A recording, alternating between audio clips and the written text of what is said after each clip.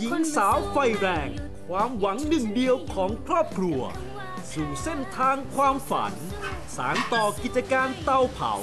จากแรงบันดาลใจคือสัตว์เลี้ยงที่เธอรัก สัตว์เลี้ยงก็เป็นชีวิตหนึ่ง ก็เหมือนคนคนหนึ่งคนกล้าฝันตอน เตาเผาสารฝัน อาทิตย์ที่ 14 กรกฎาคม